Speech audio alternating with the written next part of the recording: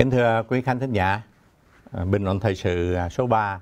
có tựa đề bốn viễn cảnh chính trị của Trung Cộng. À, sở dĩ à,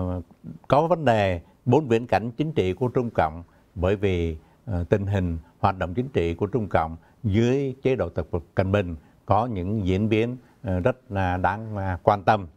Diễn biến thứ nhất là à, năm 1982 ông Đặng Tử Bình à, qua hiến pháp đã quy định chế độ à, Trung Cộng phải tuân giữ à, nhiệm kỳ đối với những người à, lãnh đạo Đảng Cộng sản Trung Quốc.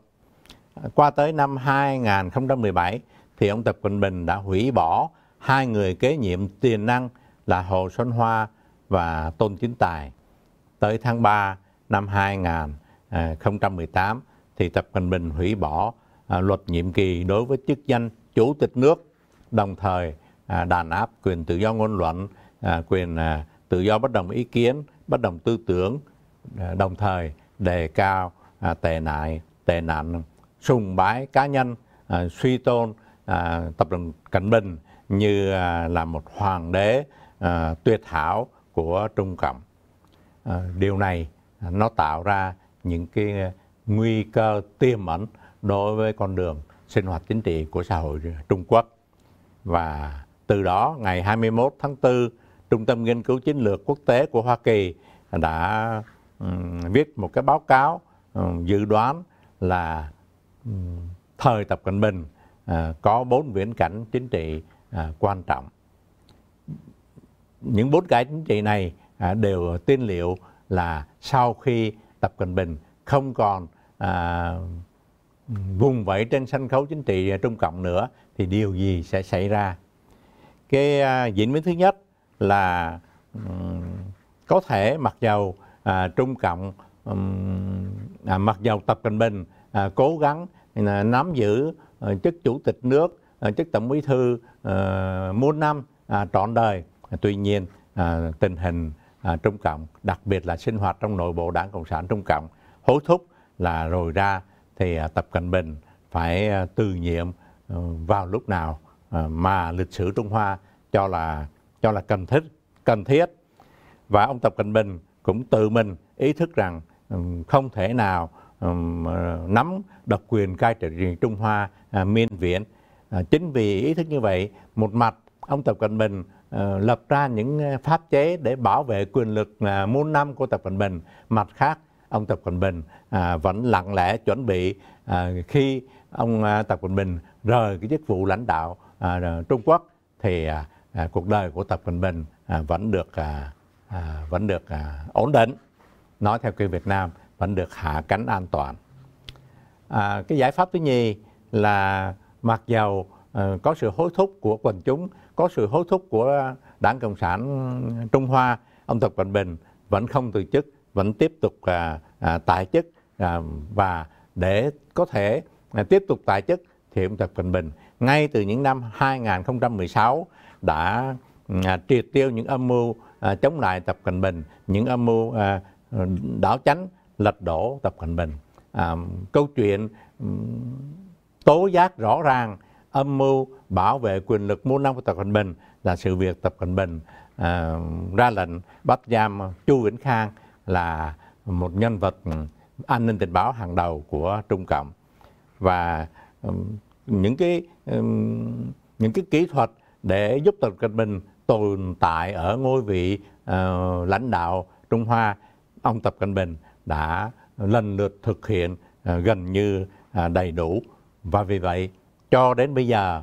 theo nhận định của Trung tâm Nghiên cứu Chiến lược Quốc tế, âm mưu lật đổ Tập Cận Bình là một âm mưu rất ít hy vọng thành công, rất ít hy vọng có thể xảy ra. À, tình huống thứ ba là ông Tập Cận Bình à, bất ngờ thiệt mạng thì à, trong tình huống này nó tạo ra một cái khoảng trống quyền lực à, và cái sự xung đột nội bộ có thể xảy ra và ngay cả à, nội bộ gọi là nhóm thân tín của Tập Cận Bình cũng có thể sâu xé lẫn nhau. À, trong trường hợp này thì Trung tâm Nghiên cứu Chiến lược Quốc tế của Hoa Kỳ không thể tiên liệu được tình hình Trung Hoa sẽ nổi trôi tới đâu. À, tình huống thứ tư là ông Tập Cận Bình mất khả năng hành động và trong trường hợp mất khả năng hành động thì à, tùy theo à, mức độ sức khỏe của ông Tập Cận Bình mà à, à, mức độ bất ổn chính trị của sân khấu chính trị à, Trung Quốc sẽ à, sẽ um, chìm nổi tùy theo tình trạng sức khỏe của cấp lãnh đạo mà cấp lãnh đạo ở trong trường hợp này là ông Tập Cận Bình. Kính thưa quý khán thính giả, à, theo những người nghiên cứu lịch sử thì à, à, chế độ độc tài à, đặc biệt là có hai loại độc tài, độc tài cộng sản và độc tài không cộng sản. Độc tài cộng sản tức là những nhà độc tài à, xuất thân từ đảng cộng sản nương vào đảng cộng sản nắm quyền để cai trị xã hội đồng thời cai trị luôn cả đảng cộng sản và cái sự việc à, đảng cộng sản từ uh, cái phương châm uh, tập thể lãnh đạo ờ, uh, cá năng uh, trách nhiệm đã biến thành một chế độ độc tài uh, điển hình như độc tài Mao Trạch Đông và bây giờ là độc tài uh, Tập Cận Bình. Và dĩ nhiên đi từ uh,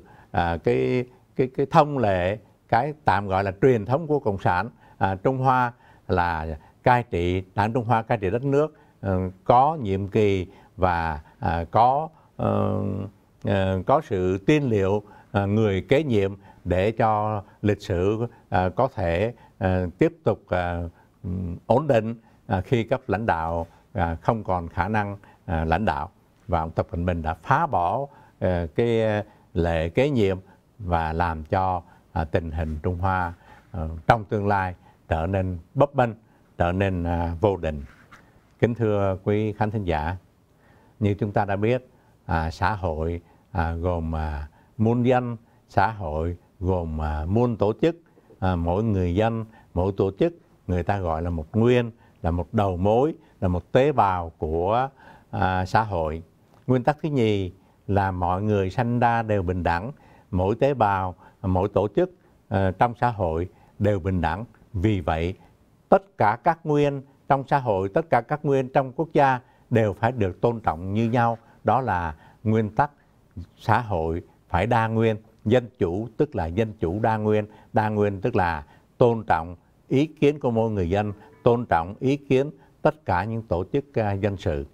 Điều quan trọng là làm thế nào vừa tôn trọng tất cả những tổ chức dân sự, tôn trọng tất cả ý kiến của người dân, nhưng mà xã hội vẫn điều hành à, trong ổn định. Điều này là một bài học lớn à, mà à, tổ chức công quyền à, hướng dẫn chúng ta từng bước một. À, tuy nhiên, chân lý vẫn là xã hội là đa nguyên, xã hội phải tôn trọng từng người dân, xã hội phải tôn trọng từng tổ chức dân sự.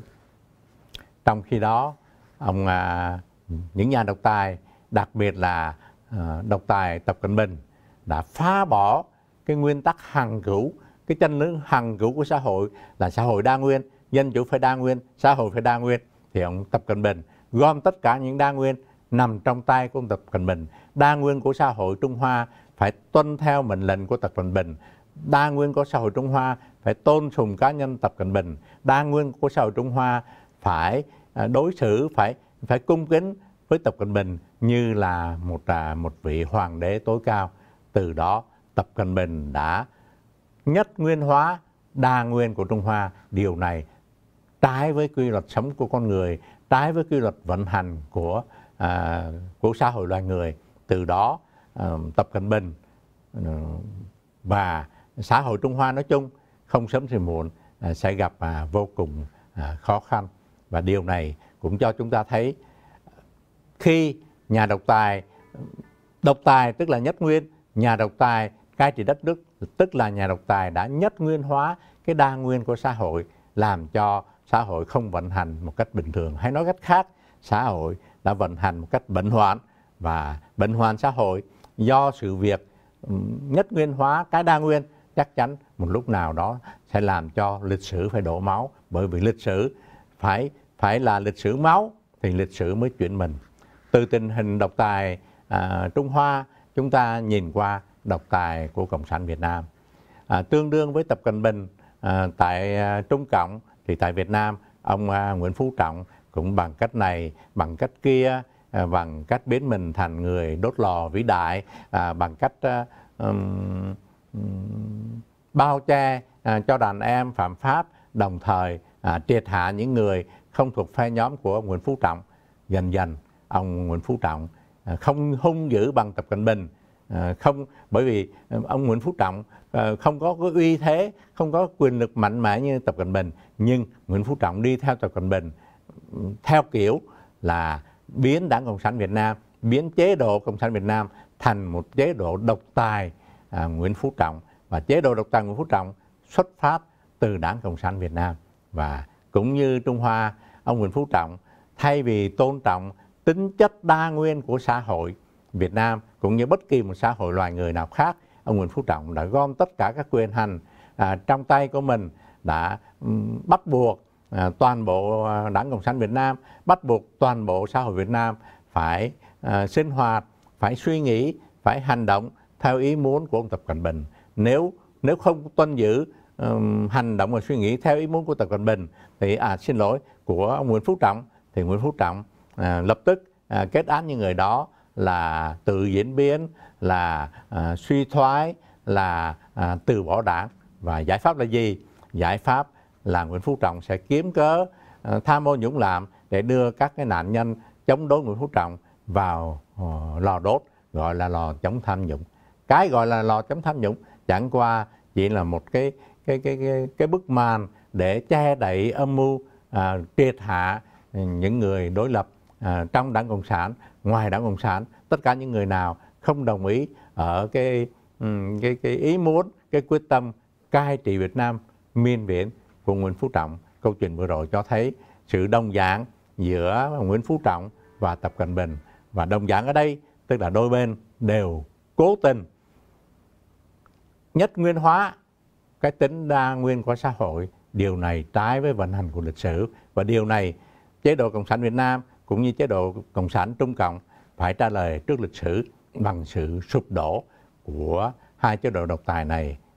Một lần nữa xin được chống nhấn mạnh. Độc tài ở đây tức là đã nhất nguyên hóa tính chất hằng cửu đa nguyên của xã hội. Kính thưa quý khán thính giả à, đề tài thứ ba tới đây là chấm dứt. Xin à, quý khán thính giả nhớ bấm subscribe để chúng tôi có dịp trở lại với quý khán thính giả trong các chương trình kế tiếp. Trân trọng kính chào quý khán thính giả.